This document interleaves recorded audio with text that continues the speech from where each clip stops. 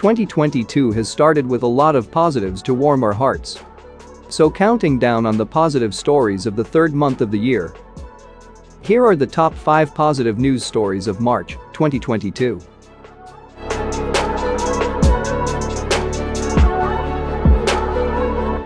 Before we begin, please show us some love by liking our video, subscribing to our channel, and hitting the bell icon to receive notifications for upcoming positive listicle videos. Number 5. NBA basketball star donates full salary this season to build hospital in Congo to honor father. Bismack Biyombo, returning to the NBA after a year as a free agent, has announced he will donate the entire $1.3 million value of his contract to the construction of a hospital in his hometown in Congo. Taking last season off to care for his sick father, who passed away in August of 2021, Biyombo said he became aware of just how fortunate he was simply to be able to bring his father to the hospital. The announcement of constructing the hospital was made this month, two months after Biyombo signed a one-year contract with the Phoenix Suns. The hospital will be named in honor of his father whom Biyombo described as my friend, my business partner, my mentor, and everything. The construction will be carried out through the Bismack Biyombo Foundation, which uses the star's success as an NBA player to help those in Congo. During the early pandemic, the foundation delivered $1 million in medical supplies to hospitals across the country. The foundation focuses on creating initiatives in three areas to multiply opportunities for children in the Congo, and they are athletics, education, and health. Its work results in 185 annually granted scholarships, 150 higher education opportunities, and helps over a thousand patients every week receive treatment at Congolese hospitals. The story is remarkably similar to that of Atlanta Hawks center Dikembe Mutombo, who donated $2 million of his NBA earnings toward the building of a planned $44 million hospital and medical center in his hometown of Kinshasa, Congo in 1998. Number 4. Photographer takes hilarious pictures of dogs catching cheese to raise money for charity.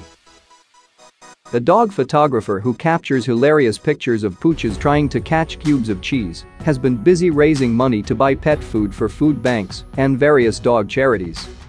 56-year-old Carolyne Cowan recently snapped pictures of 41 dogs lunging for cheese at a charity catchathon event.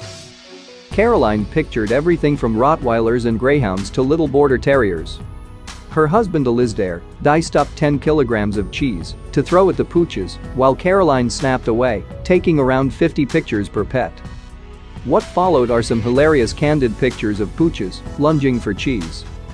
Carolyne started the event in 2018 and put it on for 14 months, raising £15,000, but was forced to pull the plug on it when the pandemic hit.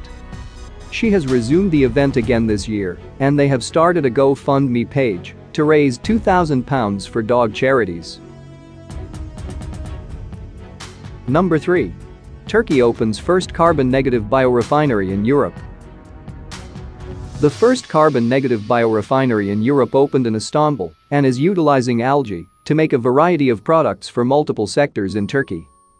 Turkey is hoping to use both microalgae and macroalgae to produce a variety of products including fuel, food supplements, and fertilizers at its new biorefinery.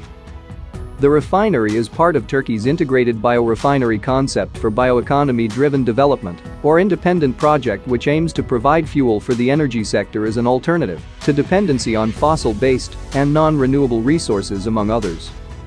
In order to process sustainable natural resources based entirely on algae without depending on fossil resources, an integrated carbon-negative biorefinery system with a zero-waste target has been designed.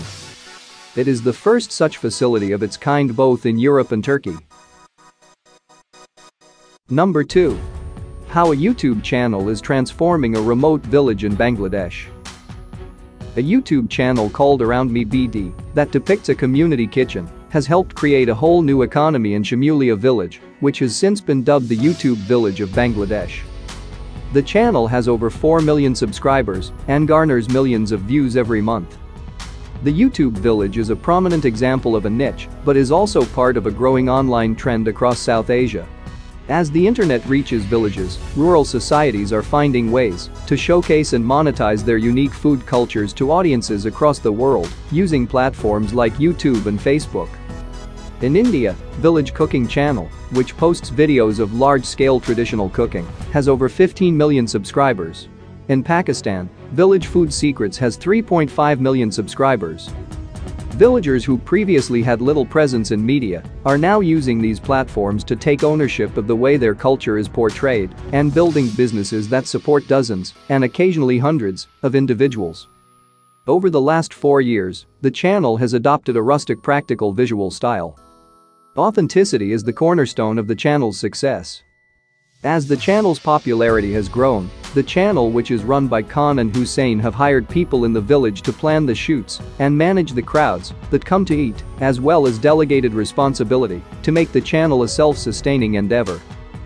The channel now employs around 50 workers, including 17 women, who feature in the videos and run the show.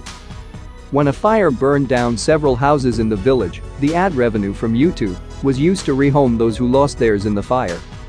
The channel also foots medical expenses for the elderly in the village.